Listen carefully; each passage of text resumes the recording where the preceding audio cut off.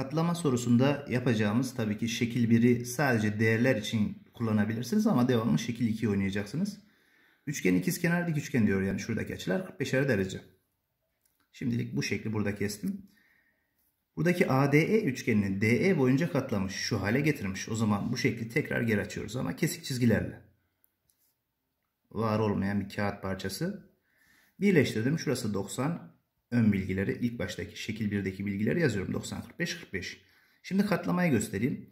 Bu üçgen DE boyunca katlandı. Yani buradaki A noktası burası. ADE, A üssü DE birbirine eş. AD kenarıyla DA üssü kenarı birbirine eşit. Bu açıyla bu açı birbirine eşit. Ve şuradaki açı da 90 derecedir. Bunları biraz daha devam ettirelim. 45 ise A üstüne de 45 yazarız. 90. Burası da 45. Tersten burası da 45. O yüzden burası 90 ve şu açılar yine 45'er derece.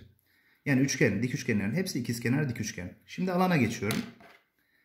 Alanda EKC BA üssü K'nın iki katı. Yani S'e 2S oran var. Bunu şöyle düşünebiliriz. Şuradan bir dik indirirsem. Alanı ikiye böleceğim S S dersem. Burası 2S olduğu için buraya yine S yazdım.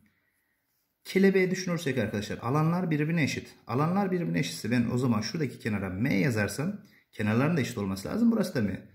Hatta her tarafa M M diye doldurabiliriz. 45'lerden dolayı burası da M.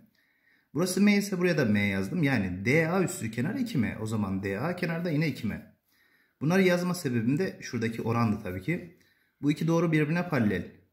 AD ile DB arasında 2'ye 1 oran var. Thales teoremi gereğince AD'nin DB oranı AE'nin EC oranına eşittir. Yani 2M 2K yazarsam M'e K yazarım. 2 bölü 1. AE bölü EC. Yani Ceyhan.